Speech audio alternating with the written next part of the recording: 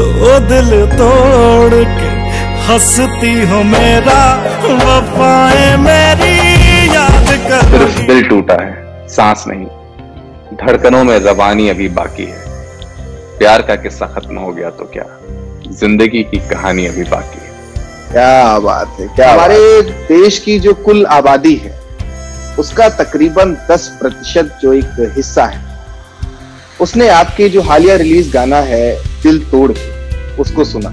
यानी कि अगर विभिन्न सोशल मीडिया प्लेटफॉर्म को जोड़ लिया जाए तो तकरीबन तेरह करोड़ से ज़्यादा बार उसको देखा गया है सुना गया है। तो इतनी आबादी तो कई देशों की भी नहीं होती जितने आपके आपको लोगों ने सुन लिया है। तो कैसा महसूस कर रहे हैं सर इस सफलता पर? जो आपने मुसाफिर की बात आपने कही कि तो मुसाफिर पे मैं एक मेरे को एक शेर याद आता है। सितारों को आँखों में महफूज रख लो। सितारों को आँखों में महफूज रख लो। बहुत दूर तक रात ही रात होगी। हाँ। मुसाफिर हो तुम भी मुसाफिर हैं हम भी।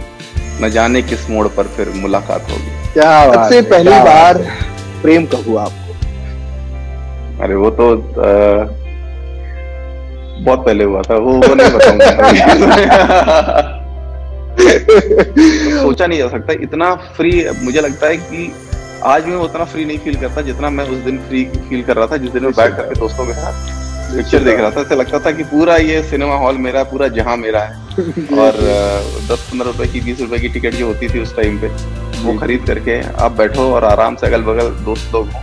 तो लगता था कि यार पता नहीं क्या पा लिया। देखिए एक कहावत है बहुत अच्छी हानि लाभ जीवन मरण यश अपयश विधि हाथ तो ये जो छह चीज़ें होती हैं ये हमारे हाथ में नहीं होती। बहुत बड़ा प्लेटफॉर्म है नेटफ्लिक्स और उन्होंने मुझे बोला मुकेश ने कि भाई ये रोल के लिए लोग कितना स्ट्रगल करते हैं ये तो आपकी किस्मत है कि आप यहाँ पे बैठे हो और यहाँ पे सब लोग बैठे हैं और आपको बैठे बैठाए लंच पे आपको रोल मिल रहा है। बहुत बड़ी बात है। तो सवाल एक छोटा सा था जिसके पीछे ये पूरी ज़िंदगी बर्बाद कर दी। भुलाऊं किस तरह वो दोनों आँखें किताबों की तरह जो याद कर ली।